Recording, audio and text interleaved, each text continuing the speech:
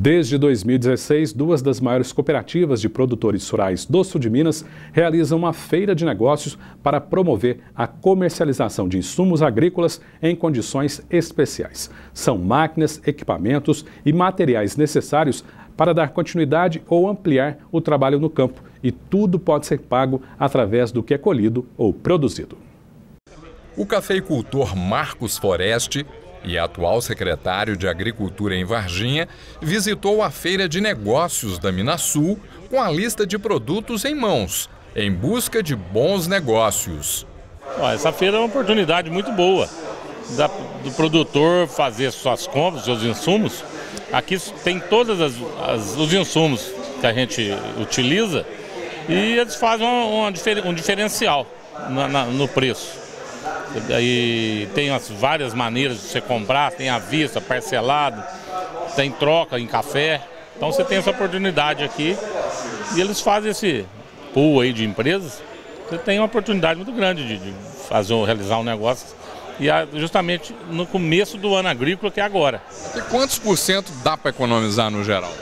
eu acredito que não deva passar de 10%, mas já é alguma coisa uns 10% aí no, no, desconto, na promoção que as empresas fazem.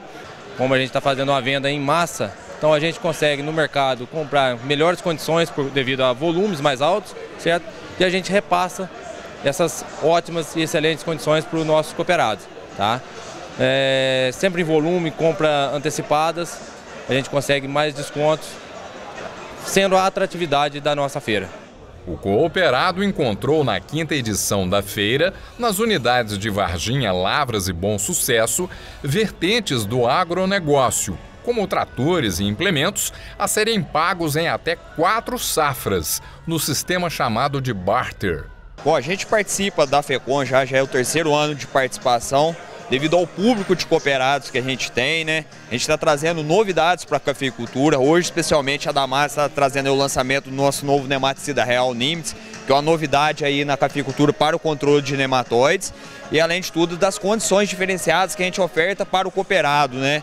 Juros diferenciados e, principalmente, a modalidade de barter, onde o cooperado paga o seu, a sua aquisição do seu defensivo é, na moeda dele, que é o café.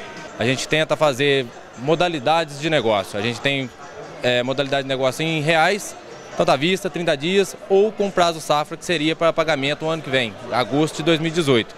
Ou a gente pode fazer em barter, que seria na própria moeda do produtor em café, tentando valorizar a própria moeda dele, certo? E no caso de máquinas, implementos e tratores, a gente pode estar tá negociando em até quatro safras, facilitando e parcelando o pagamento e facilitando a negociação do agricultor. Em épocas de dólar nas alturas, muita gente aproveitou a oportunidade de comprar mais barato durante a feira da Minasul. Com certeza, né? Dólar em alta, café em baixa. A gente, no mesmo caso de, de compra de insumos, a gente faz no barter de café. Como a gente vai fazer uma negociação com volume alto de café no mercado futuro, a gente consegue agregar um valor mais atrativo, repassando isso para o produtor. Então ele tenta dar um valor a mais na moeda dele, sendo mais atrativo o negócio.